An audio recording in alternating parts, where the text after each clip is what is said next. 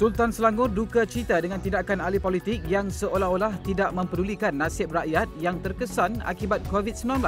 Titah baginda rakyat bosan dan meluat dengan segala tindakan ahli politik. AMNO dan PAS bersetuju untuk mendaftarkan muafakat nasional secara rasmi dengan pendaftar pertubuhan Malaysia. Perinciannya di astroawani.com dan Awani 7.45 malam ini.